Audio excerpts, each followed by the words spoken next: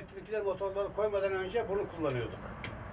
Bu benzinliyle çalışıyorduk. Her gün benzin al, benzin koy, motor çalışıyor, çalışmıyor bir sürü dert. Şimdi bunu artık hiç kullanmıyoruz. Devamlı bu iki tane motoru kullanıyoruz. Ceyran namluna 220, 220 ile çalışıyor. Güneş enerjisi yolları bak.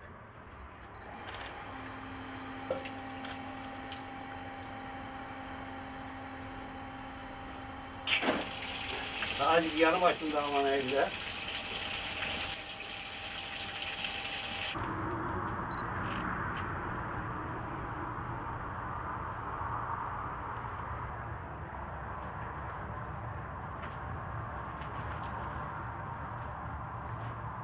Ceyran olmadığı için mecburen güneş enerjilerini onları şey yaptım. Pervanem de var.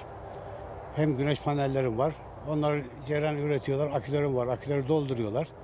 Gece de bütün gece 12'ye kadar devamlı televizyon seyrediyorum. Buzdolabım devamlı çalışıyor.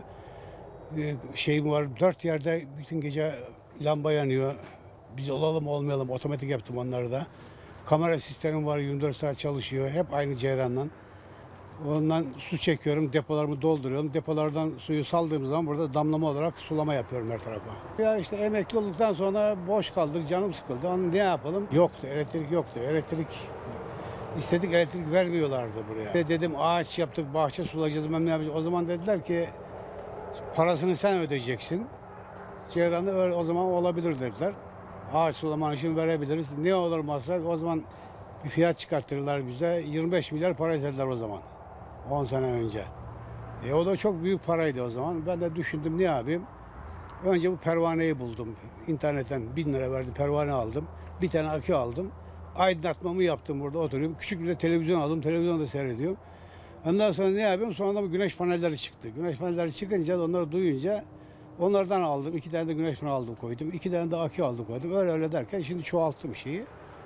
Şimdi her işimi görüyorum yani şimdi. Üç buçuk dönüm yerimi 10 senedir güneş enerjisiyle ürettiğim cerranla çalıştırıyorum. Santrifişlerim, dalgıç motorlarım var. Normal santrifişlerim var. Hepsi cerranla çalışıyor. Onları suluyorum yani. Ya aynı bir hiç farkı yok yani. Her cihazım çalışıyor yani şimdi. Benim hiç evde buzdolabım da çalışıyor, televizyonum da çalışıyor. Lambalarım yanıyor. Hiçbir sıkıntım yok yani. Domateslerimiz bak olmaya başladılar yavaş yavaş. Çıkacaklar böyle hepsi böyle olacaklar. Çok büyük oluyor bu domatesler. Yerli domates bunlar. Bunlar yerli domates yani hep.